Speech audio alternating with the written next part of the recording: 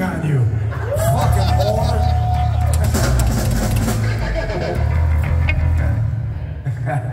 All right, this is a song called Kill Mania.